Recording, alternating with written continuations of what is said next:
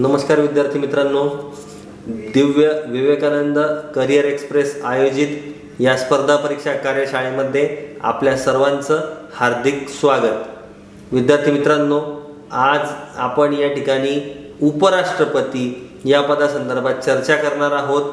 परीक्षेत या घटकावर कशा स्वरूपाचे प्रश्न विचारले जातात यासंबंधी देखील आपण या ठिकाणी चर्चा करणार आहोत. विद्यार्थी मित्रांनो या ठिकाणी तुम्ही एक बाब आवर्जून लक्षात घेतली पाहिजे की ज्या पद्धतीने राष्ट्रपती या घटकावर विविध स्वरूपाचे प्रश्न विचारले जातात त्याच पद्धतीचे प्रश्न हे उपराष्ट्रपती पदावर देखील या ठिकाणी विचारले जात असतात.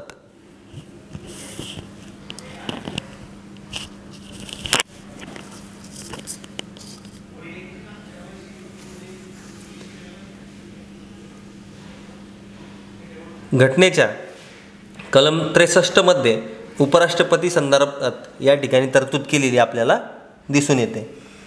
भारतीय राज्यघटनेच्या त्रेसष्टमध्ये उपराष्ट्रपती असावा अशी तरतूद आपल्याला दिसते. कलम चौसष्टमध्ये उपराष्ट्रपती हा राज्यसभेचा पदसिद्ध अध्यक्ष असेल अशी तरतूद दिसून येते. लक्षात घ्या विद्यार्थी मित्रांनो आपल्याकडे संसदेचे दोन सभागृह आहेत. एक म्हणजे लोकसभा आणि दोन म्हणजे राज्यसभा. बरोबर? राज्यसभा आणि लोकसभा ही दोन सभागृह जी आहेत यापैकी लोकसभा हे जे सभागृह आहे हे प्रत्यक्ष प्रौढ आणि गुप्त मतदान पद्धतीने जे जनतेचे प्रतिनिधी निवडून जातात त्यांना आपण खासदार असं म्हणतो प्रत्यक्ष प्रौढ आणि गुप्त मतदान पद्धतीने सामान्य जनता मतदान करून जे खासदार निवडले जातात त्यांना आपण लोकसभेचे प्रतिनिधी असं म्हणतो. तर अप्रत्यक्षरित्या जे प्रतिनिधी या ठिकाणी जातात त्यांना राज्यसभेचे खासदार असं आपण म्हणत असतो. ठीक आहे? तर हे जे काही राज्यसभा हे सभागृह आहे या सभागृहामध्ये जो काही एक सभापती असतो जो तो सभागृह चालवत असतो त्या सभागृहाचं नियंत्रण करत असतो कंट्रोलिंग करत असतो तो सभापती जो काही आहे तो कंपल्सरी जो उपराष्ट्रपती असेल जो कोणी उपराष्ट्रपती असेल तोच राज्यसभा या सभागृहामध्ये पदसिद्धरित्या सभापती असेल. जो कोणी उपराष्ट्रपती म्हणून नेमला जाईल तो ऑटोमॅटिकलीच राज्यसभेचा अध्यक्ष म्हणून सुद्धा नेमला जाईल असं कलम चौसष्ट आपल्याला या ठिकाणी सांगतं. ठीक आहे? तुम्हाला प्रश्न विचारला जाईल. भारतीय राज्यघटनेच्या कितव्या कलमामध्ये उपराष्ट्रपती हे पदसिद्धरित्या राज्यसभेचे सभापती असतील? असा उल्लेख दिसून येतो. कलम चौसष्ट. लक्षात घ्या राष्ट्रपतीपदाप्रमाणेच उपराष्ट्रपतीपदाला देखील कोणतेही लाभाचे पद धारण करता येणार नाही असा प्रतिनिधी तो असला पाहिजे. राष्ट्रपती पद रिक्त झाल्यास त्या पदावरून कार्य या ठिकाणी करण्याची संधी मिळू शकते. राष्ट्रपती जर का या ठिकाणी कोणत्याही कारणास्तव गैरहजर असतील पदावर असताना मृत्यू झाला किंवा कोणत्याही कारणास्तव राष्ट्रपती या ठिकाणी जर का उपस्थित नसतील तर ते पद रिक्त झाल्यामुळे त्या पदावर कार्य करण्याची संधी कुणाला मिळत असते? उपराष्ट्रपतींना मिळत असते. राष्ट्रपती म्हणून कार्य करताना राज्यसभेचा अध्यक्ष म्हणून काम करता येणार नाही. लक्षात घ्या विद्यार्थी मित्रांनो अत्यंत महत्त्वाची ही बीट आहे. राष्ट्रपती म्हणून काम करत असताना म्हणजे कोण? हे राष्ट्रपती पद आहे. राष्ट्रपती पद सध्या रिक्त आहे. बरोबर? म्हणजे उपराष्ट्रपती असतील हे या ठिकाणी जाऊन काम पाहतील. म्हणजे उपराष्ट्रपती राष्ट्रपती म्हणून काम पाहत आहेत आत्ता. बरोबर ना? आणि या केसमध्ये जेव्हा ते राष्ट्रपती म्हणून काम पाहत असतील तेव्हा त्यांना राज्यसभेचा अध्यक्ष म्हणून काम पाहता येणार नाही. लक्षात घ्या. कलम पासष्ट काय सांगतं? विद्यार्थी मित्रांनो लक्षात घ्या. विद्यमान राष्ट्रपती जर गैरहजर असेल प्रकृती अस्वास्थ्यामुळे गैरहजर असेल किंवा इतर कोणत्याही कारणास्तव ते जर का पद रिक्त असेल तर त्या काळामध्ये उपराष्ट्रपती राष्ट्रपती म्हणून काम पाहतील. आलं लक्षात? कलम सहासष्ट कलम सहासष्टमध्ये निवडीची पद्धत दिलेली आहे. उपराष्ट्रपती पदासाठीची निवडीची पद्धत दिलेली आहे. एकल संक्रमणीय प्रमाणशीर गुप्त मतदान पद्धती या ठिकाणी आपल्याला दिसून येते. ठीक आहे? त्यानंतर बघा उपराष्ट्रपती हा संसदेच्या कोणत्याही गृहाचा सदस्य नसावा. है ना? जर का तो त्या एखाद्या सभागृहाचा सदस्य असेल तर त्या सदस्यत्वाचा त्याला काय करावा लागतो? आधी राजीनामा द्यावा लागतो. कोणत्याही विधिमंडळाचा तो सदस्य नसावा. जर का असेल तर त्याला राजीनामा द्यावा लागेल. किंवा उपराष्ट्रपती होताच त्या क्षणाला आधीचं पद हे रिक्त समजलं जाईल. आधीचं पद काय समजलं जाईल रिक्त समजलं जाईल. पात्रता. काय काय पात्रता आहे विद्यार्थी मित्रांनो? लक्षात घ्या. भारतीय नागरिक असावा. तो संबंधित व्यक्ती जो काही इच्छुक उमेदवार आहे तो काय असायला पाहिजे? तो सगळ्यात पहिल्यांदा तर तो भारतीय नागरिक असला पाहिजे. वयाची किती वर्ष पूर्ण असायला पाहिजे? तर वयाची पस्तीस वर्ष या ठिकाणी पूर्ण केलेली असली पाहिजे. राज्यसभेचा सदस्य होण्याची किमान पात्रता त्याच्या अंगी असली पाहिजे. आणि शासनाचं कोणतंही लाभाचं पद त्याच्याकडे धारण नसावं. बरोबर ना? जर का शासनाचं लाभाचं पद जर का त्याने धारण केलेलं असेल तर त्या लाभाच्या पदावरून सुद्धा त्याला काय करावं लागेल? राजीनामा द्यावा लागेल. आणि मगच तो या ठिकाणी उपराष्ट्रपती म्हणून फॉर्म भरू शकतो किंवा पदावर पदग्रहण करू शकतो. निवडणुकीसंबंधी कोणत्याही प्रकारे जर का वाद निर्माण झाला तर सर्वोच्च न्यायालयाचा अंतिम निर्णय असतो. परीक्षेत प्रश्न विचारला जाईल तुम्हाला.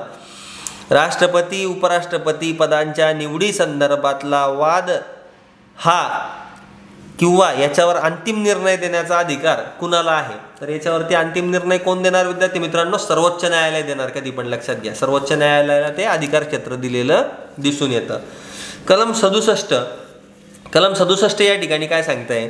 पदग्रहण केल्यापासून पदग्रहण म्हणजे ज्या दिवशी शपथ घेतली त्या दिवसापासून पदग्रहण केल्यापासून पाच वर्षांचा कालखंड उपराष्ट्रपती पदासाठी या ठिकाणी स्पष्ट नमूद केलेला आहे. लक्षात घ्या जवळपास सर्वच घटनात्मक पदांसाठी कार्यकाळ निश्चित केलेला आहे. राष्ट्रपती पदासाठी स्पष्टपणे पाच वर्षांचा उल्लेख आहे. उपराष्ट्रपतीसाठी पाच वर्षांचा स्पष्टपणे उल्लेख आहे. परंतु पंतप्रधान या पदासाठी घटनेमध्ये निश्चित प्रकारे उल्लेख केलेला नाही. त्यात काय म्हटलेलं आहे? राष्ट्रपतीची मर्जी असेपर्यंत किंवा मंत्रिमंडळाचा पाठिंबा असेपर्यंत मंत्रिमंडळाचा विश्वास असेपर्यंत संबंधित व्यक्ती पंतप्रधान पदावर राहू शकते. त्यानंतर बघा आपला राजीनामा कोणाकडे देतं? बघा विद्यार्थी मित्रांनो राष्ट्रपती आपल्या पदाचा राजीनामा उपराष्ट्रपतीकडे देतो आणि उपराष्ट्रपती आपल्या पदाचा राजीनामा राष्ट्रपतीकडे देत असतो. त्यानंतर बघा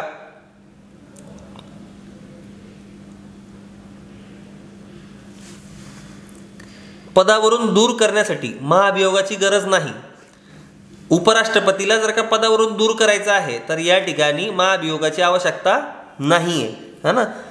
साध्या बहुमताने या ठिकाणी म्हणजे सर्वात पहिल्यांदा लोकसभेत नंतर राज्यसभेत अशा पद्धतीने ठराव पास होतो. गृहातील सदस्य संख्येच्या निव्वळ बहुमताने राज्यसभा ठराव पास करते त्यानंतर लोकसभेत जाते मंजुरीसाठी.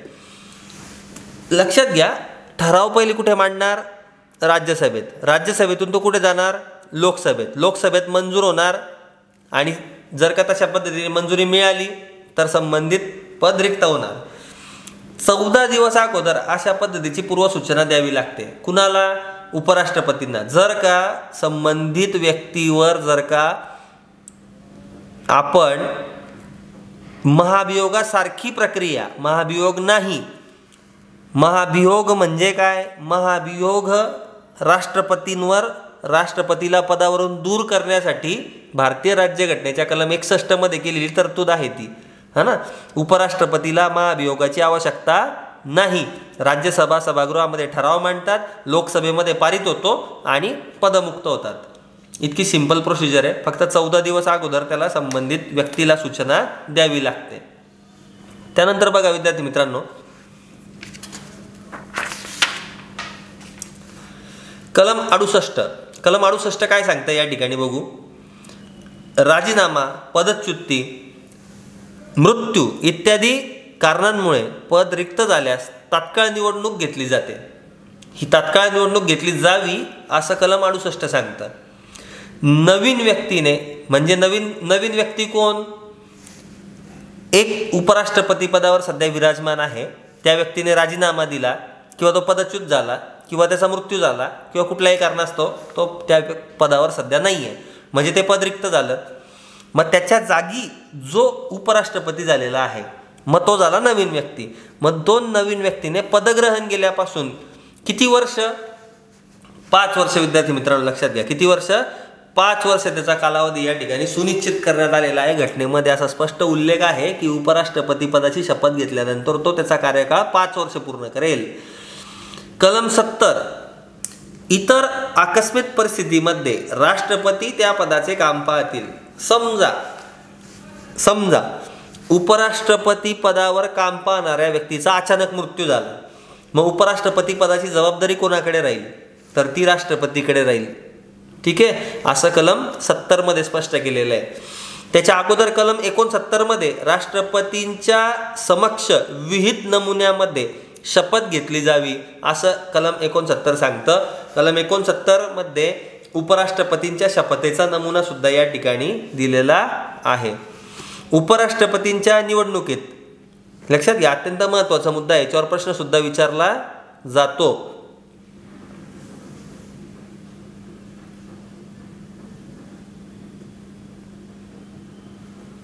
लक्षात घ्या विद्यार्थी मित्रांनो यावर प्रश्न सुद्धा विचारला जातो.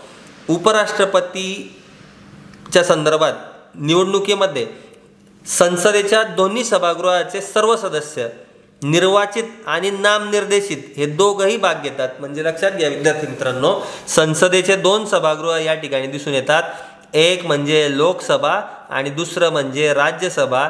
या दोनही सभागृहामधले निर्वाचित आणि नामनिर्देशित असे दोनही सदस्य म्हणजे प्रत्यक्ष निवडून आलेले सुद्धा आणि नामनिर्देशित म्हणजे नॉमिनेटेड आणि इलेक्टेड दोघं प्रकारचे सदस्य या ठिकाणी. परंतु कुठले? लोकसभा आणि राज्यसभा या दोनच सभागृहांमधले राज्य विधिमंडळाचे नाही. त्यानंतर बघा आपण राष्ट्रपती पद या संदर्भात चर्चा करत असताना आपण बघितलं होतं. मी तुम्हाला नगरसेवकासाठी उदाहरण दिलं होतं. नगरसेवक पदाचा जर का मला महानगरपालिकेच्या क्षेत्रामध्ये फॉर्म भरायचा आहे तर मला दोन सूचक आणि दोन अनुमोदक लागतात. म्हणजे मला ज्यांनी सुचवलं की तुम्ही इलेक्शन लढवा आणि ज्यांनी दोन लोकांनी सुचवलं त्यांच्या मला फॉर्मवर सह्या घ्याव्या लागतात.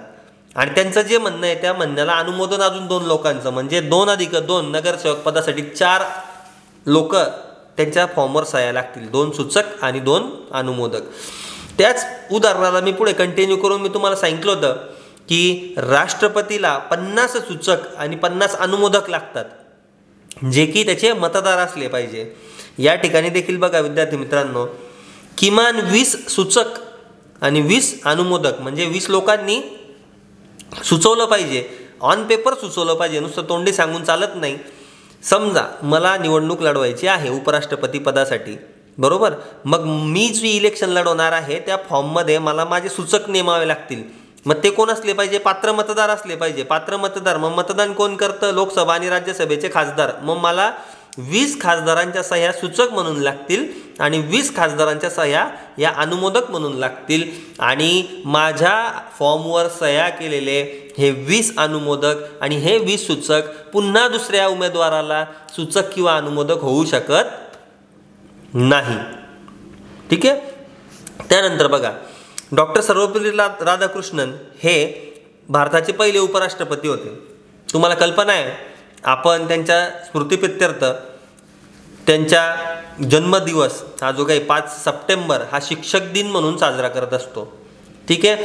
सलग दोन वेळा त्यांनी हे पद भूषवलेलं आहे. ते दोन्ही वेळा बिनविरोध स्वरूपात या ठिकाणी निवडून आलेले दिसून येतात. बिनविरोध या ठिकाणी त्यांचं इलेक्शन झालेलं होतं. विद्यार्थी मित्रांनो रोचक तथ्य या ठिकाणी मी तुम्हाला सांगू इच्छितो. सलग दोन वेळा उपराष्ट्रपती म्हणून निवडून आलेले दोन लोक आहेत या ठिकाणी. सलग दोन वेळा उपराष्ट्रपती म्हणून निवडून आलेले. सलग व सतत दोन वेळा या ठिकाणी निवडून आलेले. कोण कोण आहेत? डॉक्टर सर्वपल्ली राधाकृष्णन आणि मोहम्मद हमीद अन्सारी. मोहम्मद हमीद अन्सारी तुम्हाला कल्पना आहे? दोन हजार सात आणि दोन हजार बारा. दोन हजार सात आणि दोन हजार बारा अशा दोन वेळा हे उपराष्ट्रपती पदावर विराजमान झाले. तर डॉक्टर सर्वपल्ली राधाकृष्णन जे काही आहे. हे एकोणावीसशे बावन्न आणि एकोणावीसशे सत्तावन्न एकोणावीसशे बावन्न आणि एकोणावीसशे सत्तावन्न ह्या दोन वेळी उपराष्ट्रपती पदावर विराजमान झाले. हे सलग व सतत दोन वेळा उपराष्ट्रपती झालेले दोन लोक आहेत. तुम्हाला प्रश्न विचारला जाईल सलग व सतत दोन वेळा उपराष्ट्रपती पद भूषवणारे खालीलपैकी कोण व्यक्ती आहेत? मग त्या दोन व्यक्तींची नावं तुम्हाला माहिती असायला पाहिजे. एक म्हणजे डॉक्टर सर्वपल्ली राधाकृष्णन दोन म्हणजे मोहम्मद हमीद अन्सारी. त्यानंतर बिनविरोध बिनविरोध बिनविरोध ज्याला विरोध कोणीच केला नाही म्हणजे विरोधामध्ये कोणी फॉर्म भरला नाही. बिनविरोध निवडून आलेले उपराष्ट्रपती. डॉक्टर सर्वपल्ली राधाकृष्णन मोहम्मद हिदायतुल्ला आणि शंकर दयाल शर्मा हे तीन असे नावं आहेत विद्यार्थी मित्रांनो की ज्यांना त्यांच्या विरोधामध्ये उमेदवार न होता ठीक आहे? ते काय होते? बिनविरोध या ठिकाणी निवडून आलेले होते. लक्षात घ्या विद्यार्थी मित्रांनो आपल्याला परीक्षेत प्रश्न विचारला जातो. जर का राष्ट्रपती पद रिक्त झालं तर त्या जागेवर कोण काम पाहणार? उपराष्ट्रपती. जर का राष्ट्रपती पद रिक्त आहे आणि उपराष्ट्रपती पद सुद्धा रिक्त आहे त्यावेळेला कोण काम पाहणार? तर सर्वोच्च न्यायालयाचे सरन्यायाधीश काम पाहतील. विद्यार्थी मित्रांनो लक्षात घ्या एकदा इतिहासामध्ये असं झालेलं सुद्धा आहे. ठीक आहे? जे सर्वोच्च न्यायालयाचे सरन्यायाधीश होते त्यांनी राष्ट्रपती म्हणून सुद्धा काम पाहिलेलं आहे. राष्ट्रपती जर का गैरहजर असतील तर कोण काम पाहिल? उपराष्ट्रपती आणि उपराष्ट्रपती आणि राष्ट्रपती दोघंही पदं जर का रिक्त असतील तर या पदावर बसेल कोण? राष्ट्रपती पदावर कोण काम पाहिल? तर राष्ट्रपती पदावर तात्पुरत्या स्वरूपात सर्वोच्च न्यायालयाचे सरन्यायाधीश काम पाहतील. ठीक आहे विद्यार्थी मित्रांनो त्यानंतर आपण पुढचा घटक बघूया.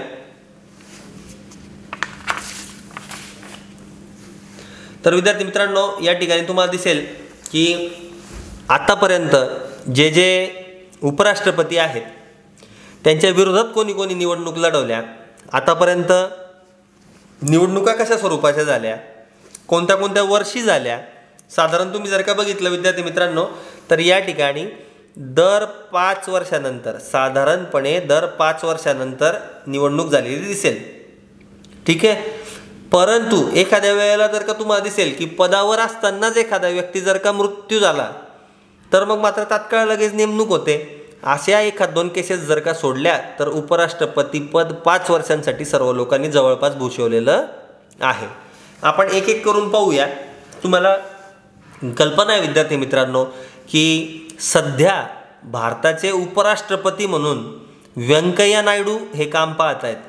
अकरा ऑगस्ट दोन हजार सतरा अकरा ऑगस्ट दोन हजार सतरा या तारखेपासून उपराष्ट्रपतीपदावर व्यंकय्या नायडू काम पाहत आहेत.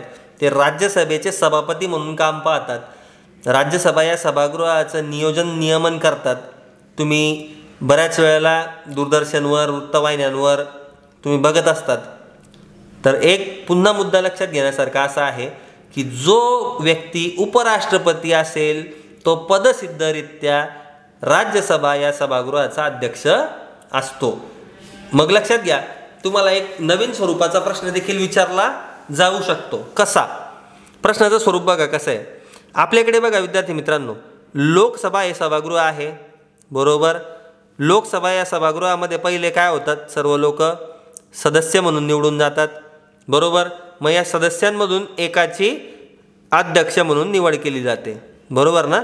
म्हणजे अध्यक्ष होण्याच्या आधी तो काय असतो? पहिले सदस्य असतो त्या सभागृहाचा. बरोबर ना? आपल्याकडे प्रत्येक वेळी असंच होत असतं. कोणतंही सभागृह असू द्या त्या बाबतीत आपल्याकडे असं सिस्टम दिसून येतं. पहिले तो संबंधित व्यक्ती हा त्या सभागृहाचा सदस्य म्हणून नेमला जात निवडला जातो आणि त्या सदस्यांमधून एकाचे अध्यक्ष दुसऱ्याचे उपाध्यक्ष अशा पद्धतीची निवड होते. परंतु राज्यसभा हे असं सभागृह आहे राज्यसभा हे असं सभागृह आहे की त्याचा जो कोणी अध्यक्ष असतो त्याचा जो कोणी अध्यक्ष असतो हा त्या सभागृहाचा सदस्य नसतो. सदस्य नसतो परंतु अध्यक्ष असतो. असं कोणतं सभागृह आहे? तर ते सभागृह आहे विद्यार्थी मित्रांनो राज्यसभा. कसं? कारण की मी तुम्हाला याआधीच सांगितलं की बाबा या ठिकाणी जर का तुम्ही व्यवस्थित ऐकलं असेल माझं म्हणणं तर मी तुम्हाला दोन वेळा ही गोष्ट समजून सांगितली की जो कोणी उपराष्ट्रपती म्हणून शपथ घेईल उपराष्ट्रपती पदावर विराजमान होईल तो व्यक्ती या ठिकाणी पदसिद्धरित्या राज्यसभा या सभागृहाचा सभापती म्हणून काम पाहिलं. बरोबर? म्हणून राज्यसभा या सभागृहाचा तो काही सदस्य नसतो परंतु अध्यक्ष मात्र थेट असतो. है ना? मग प्रश्न कसा विचारला जाईल तुम्हाला? खालीलपैकी असे कोणते सभागृह आहे? खालीलपैकी असे कोणते सभागृह आहे की ज्या सभागृहाचा अध्यक्ष हा त्या सभागृहाचा सदस्य नसतो? अध्यक्ष असतो पण सदस्य नसतो. अध्यक्ष असतो परंतु सदस्य नसतो. अध्यक्ष आहे उपराष्ट्रपती पदसिद्धरित्या परंतु सदस्य नाही. सदस्य का नाही? कारण की तो काही निवडून आलेला खासदार नाही आहे तो त्या ठिकाणी काय आहे? पदसिद्धरित्या अध्यक्ष झालेला आहे. आपण एक एक करून बघूया विद्यार्थी मित्रांनो. एकोणीसशे बावन्नला सगळ्यात पहिल्यांदा डॉक्टर सर्वपल्ली राधाकृष्णन बिनविरोध निवड झाली. एकोणीसशे सत्तावन्नला पुन्हा बिनविरोध निवड झाली. एकोणीसशे बासष्टला डॉक्टर झाकीर हुसेन यांच्या विरोधात एन सामंत सिंह यांनी निवडणूक लढवली होती. हे सर्व निवडून आलेले उमेदवार आहे जे हायलाईट केलेले आहेत विद्यार्थी मित्रांनो डाव्या बाजूचे जे आहेत हे सर्व निवडून आलेले आहेत. हे जे व्यक्ती आहेत हे पराभूत झालेले व्यक्ती आहेत. ठीक आहे? एकोणीसशे सदुसष्टला व्ही गिरी प्रोफेसर हबीब यांनी निवडणूक लढवली. व्ही गिरी यांचा विजय झाला. एकोणीसशे एकोणसत्तरला G S Pathak H V Kamath यांनी निवडणूक लढवली. जी एस पाठक यांचा विजय झाला. एकोणीसशे चौऱ्याहत्तर बीडी जत्ती हे या ठिकाणी उपराष्ट्रपती झाले. एकोणीसशे एकोणऐंशी एम हिदायतुल्ला एकोणीसशे चौऱ्याऐंशी आर व्यंकटरमण एकोणीसशे सत्त्याऐंशी डॉक्टर शंकरदयाल शर्मा एकोणीसशे ब्याण्णव के आर नारायणन एकोणीसशे सत्त्याण्णव कृष्णकांत दोन हजार दोन भैरवसिंह शेखावत दोन हजार सात हमीद अन्सारी दोन हजार सात ते दोन हजार बारा त्यांनी या ठिकाणी काम पाहिलं. तुम्हाला आता लेटेस्टमधल्या गोष्टी आहेत त्यामुळे ह्या माहिती असल्या पाहिजे. किमान दोन हजार दोनपासून पुढच्या दोन हजार दोनला भैरवसिंग शेखावत उपराष्ट्रपती म्हणून निवडून आले. त्यांच्या विरोधात सुशील कुमार शिंदे महाराष्ट्राचे नेते आहेत. सुशील कुमार शिंदे यांनी निवडणूक लढवलेली होती. यांचा पराभव झाला. भैरवसिंग शेखावत उपराष्ट्रपती या ठिकाणी झाले. दोन हजार सातमध्ये पुन्हा निवडणूक झाली. दोन हजार सातला हमीद अन्सारी हे या ठिकाणी उपराष्ट्रपती पदावर विराजमान झाले. त्यांच्या विरोधामध्ये नजमा हेप्तुल्लाह नजमा हेप्तुल्लाह यांनी या ठिकाणी निवडणूक लढवली होती. दोन हजार बारामध्ये पुन्हा हमीद अन्सारी या ठिकाणी उपराष्ट्रपती झाले. त्यांच्या विरोधामध्ये जसवंत सिंह यांनी निवडणूक लढवलेली होती. हमीद अन्सारी पुन्हा या ठिकाणी दोन वेळा या पदावर विराजमान झाले. हमीद अन्सारी दोन हजार सातला आणि दोन हजार बाराला पाच वर्षांचा कालखंड असतो. बारापासून सतरापर्यंत कालखंड त्यांचा पूर्ण झाला. अकरा ऑगस्ट दोन हजार सतराला अकरा ऑगस्ट दोन हजार सतरापासून पुढे आज रोजी मात्र उपराष्ट्रपती पदावर व्यंकय्या नायडू विराजमान आहेत. एक प्रश्न सातत्याने मुलांना सतावत असतो. विद्यार्थी मित्रांनो लक्षात घ्या. एक प्रश्न नेहमी मुलांना पडलेला असतो. राष्ट्रपती आणि उपराष्ट्रपती यांच्या निवडणुकीमध्ये मतदार म्हणून नेमके कोणते कोणते सदस्य असतात हे शेवटपर्यंत मुलांना कन्फ्युजन असतं प्रचंड प्रमाणात. ते कन्फ्युजन आज आपण या ठिकाणी दूर करणार आहोत विद्यार्थी मित्रांनो लक्षात घ्या. अत्यंत साधा सोपा घटक या ठिकाणी मी तुम्हाला समजून सांगतोय. एक राष्ट्रपती पदाच्या निवडणुकीमध्ये कोण कोण मतदार आहेत? एक लोकसभा सभागृह राज्यसभा सभागृह यांना दोघांना मिळून संसद म्हणतात. बरोबर? म्हणजे संसदेचे इलेक्टेड मेंबर्स राज्याच्या विधानसभेचे इलेक्टेड मेंबर आणि दिल्ली आणि पॉंडेचेरीचे जी विधानसभा आहे दिल्ली आणि पॉंडेचेरीची जी विधानसभा आहे तिथले देखील इलेक्टेड मेंबर्स दिल्ली आणि पॉंडेचेरीचे जे काही इलेक्टेड मेंबर्स आहेत त्यांना राष्ट्रपती पदाच्या मध्ये निवडणुकीमध्ये मतदान करता यावं यासाठी सत्तरवी घटना दुरुस्ती एकोणीसशे ब्याण्णवला झालेली दिसते. से सत्तरवी घटना दुरुस्ती seventeenth con constitutional amendment nineteen ninety two seventy लक्षात घ्या सत्तरवी घटना दुरुस्ती एकोणीसशे ब्याण्णव की ज्या माध्यमातून केंद्रशासित प्रदेशांमध्ये असलेल्या ज्या काही विधानसभा आहेत त्या विधानसभेतील आमदार जे काही निवडून आलेले आहेत ऑनली इलेक्टेड म्हटले बघा इथे ऑनली इलेक्टेड ऑनली इलेक्टेड सभागृह कोणतंही असू द्या ऑनली इलेक्टेड फक्त निवडून आलेले जे काही आहेत त्यांनाच या ठिकाणी मतदानाचा अधिकार आहे. ऑनली इलेक्टेड मेंबर्स संसदेचे दोन्ही सभागृहाचे निवडून आलेले राज्यांमधील विधानसभेमधले निवडून आलेले केंद्रशासित प्रदेशांच्या मधून विधानसभेत निवडून आलेले. ऑनली इलेक्टेड मेंबर हे सर्व या ठिकाणी राष्ट्रपतीच्या निवडणुकीत मतदान करतात. विधान परिषदेचे नाहीत. लक्षात घ्या विद्यार्थी मित्रांनो जसं महाराष्ट्र राज्य आहे. महाराष्ट्र राज्यांमध्ये दोन सभागृह आहेत. एक म्हणजे विधानसभा आणि दुसरं म्हणजे विधान परिषद. विधानसभेचे सदस्य मतदान करू शकतात. परंतु विधान परिषद ही काही सर्वच राज्यांमध्ये आहे का? नाही सातच ठिकाणी फक्त. त्यामुळे विधान परिषद काही या ठिकाणी कंपल्सरी मतदान करेल का? अजिबात नाही. विधान परिषदेच्या सदस्यांना असा अधिकार नाही. मग हे झालं फक्त निवडून only elected only elected member फक्त निवडून आलेले राष्ट्रपतीच्या निवडणुकीमध्ये मतदान. आणि उपराष्ट्रपती पदाच्या बाबतीत जर का हा आपण विचार केला तर फक्त लोकसभा आणि राज्यसभा यांचे निवडून आलेले पण आणि निर्वाचित पण. लक्षात घ्या इलेक्टेड पण आणि नॉ नॉमिनेटेड पण. याला काय म्हणतो आपण? इलेक्टेड अँड नॉमिनेटेड म्हणजे नामनिर्देशित आणि निर्वाचित दोनही सदस्य. या ठिकाणी लोकसभेचे आणि राज्यसभेचे. याच्यामध्ये राज्यांचा काहीच विषय नाही. उपराष्ट्रपती पदाच्या निवडणुकीच्या मध्ये मतदार म्हणून राज्यांचा कोणताच विषय येतच नाही. आलं लक्षात? राज्यांचा विषयच येत नाही. उपराष्ट्रपती पदाच्या निवडणुकीच्या संदर्भात फक्त विषय कशाचा येतो? संसदेचा. ते पण लोकसभा राज्यसभा या दोन्ही सभागृहांचे निर्वाचित आणि नामनिर्देशित असे दोनही प्रकारचे सदस्य या ठिकाणी आपल्याला दिसून येतात. मतदान करतात करताना. ठीक आहे? अत्यंत सोप्या आणि साध्या स्वरूपामध्ये आहे विद्यार्थी मित्रांनो. फक्त शेवटची ॲटलीस्ट जी काही क्रोनॉलॉजी मी तुम्हाला सांगितलेली आहे दोन हजार दोन सालापासून पुढे दोन हजार दोन सालापासून पुढे आपल्याला कोणाच्या विरोधात कोणी निवडणूक लढवलेली आहे हे ॲटलिस्ट माहिती असलेलं पाहिजे. दोन हजार दोन सालापासून पुढे कोणत्या कोणत्या वर्षी उपराष्ट्रपती पदाच्या निवडणुका झालेल्या आहेत हे सुद्धा आपल्याला माहिती असलं पाहिजे. मतदार कोण कोण आहेत? त्याचबरोबर पदावरून दूर करण्याची पद्धत कशी आहे हे सुद्धा आपल्याला माहिती असलं पाहिजे. तुम्हाला एक गोष्ट लक्षात घेण्यासारखी विद्यार्थी मित्रांनो की परीक्षेमध्ये उपराष्ट्रपती पदावर विचारण्यासारख्या फार कमी गोष्टी आहेत. पण तरी देखील जर का परीक्षाकर्त्याने जर का या ठिकाणी बारीक लक्ष दिलं तर निश्चित आपल्याला त्याचा फायदा होऊ शकतो. परीक्षेमध्ये अभ्यास करणारा जो काही विद्यार्थी असेल त्याने कोणतीच गोष्ट लाईटली घेऊ नये असं मला वाटतं. कितीही टॉपिक छोटा असू द्या कितीही टॉपिक मोठा असू द्या आपल्या परीक्षेची रिक्वायरमेंट काय आहे ते आपण समजून घेतलं पाहिजे. आपण जर का बघितलं आपण राष्ट्रपतीसुद्धा परीक्षाभिमुख पद्धतीने बघितले मूलभूत हक्कसुद्धा परीक्षाभिमुख पद्धतीने बघितले त्याच पद्धतीने उपराष्ट्रपतीपदसुद्धा आपण परीक्षाभिमुख पद्धतीने पाहिलं. उपराष्ट्रपती आणि राष्ट्रपती या पदांच्या अधिकारासंदर्भात आणि कार्यासंदर्भात जर का आपण चर्चा करायची म्हटली तर चार ते पाच दिवस चर्चा चालेल पूर्ण वेळ. इतकी मोठी अधिकाराची आणि कर्तव्यांची जबाबदारीची यादी बनू शकते. परंतु आपल्याला ह्या सगळ्या गोष्टींचा परीक्षेत खूप जास्त फायदा होणार नाही. आपल्याला काय परीक्षाभिमुख अभ्यास करणं या ठिकाणी अपेक्षित आहे. परीक्षाभिमुख आपण महत्त्वाचे सर्व मुद्दे मला वाटतं जवळपास डिस्कस केलेले उपराष्ट्रपती पदाच्या संदर्भात. विद्यार्थी मित्रांनो खूप जास्त चांगल्या पद्धतीने अभ्यास करत राहा. तुम्हाला भावी आयुष्यासाठी खूप खूप शुभेच्छा. दिव्य विवेकानंद करिअर एक्सप्रेस सदैव आपल्यासोबत. धन्यवाद.